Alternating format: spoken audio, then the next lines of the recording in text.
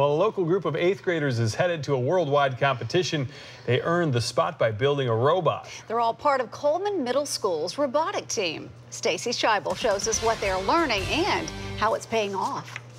There's no height limit. Yeah, no worries. This isn't your typical middle school team. This is good. Perfect. We have to cut off all this. These eighth graders from Coleman Middle School in Tampa are state robotics champions. Everybody's just really happy when we did it. I remember at the competition, we were all like jumping up and down. What they did is build a robot out of Vex IQ pieces, which are similar to Legos. It can have challenges.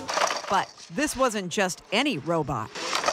Each button you can make uh, the bot do different things. So what you're trying to do is collect the balls into, um, into whatever you're collecting them with, and you're trying to get them either into the basket or over the fence. Those baskets equal points, and their bot at States bagged enough baskets to advance them to the world competition.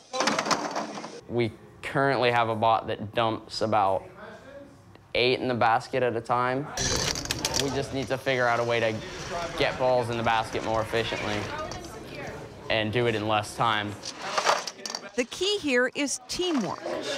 You have an idea, you build it piece by piece. So most of the time we start with the chassis and then we build onto that and it just gets more complicated with every piece. And perhaps the part that pleases their parents most is how much they're learning along the way math has a big role in this because you have to like program and you have to use um, numbers and different things like that to um, program the bot to make it actually move autonomously.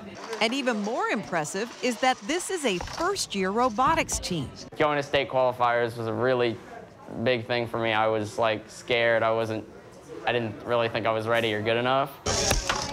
But then we did really good at that. And then went to states and I drove there and it was, um, we did really well. The robotics team heads to the Worlds in just a couple of weeks, and they have a Kickstarter campaign underway to help fund it.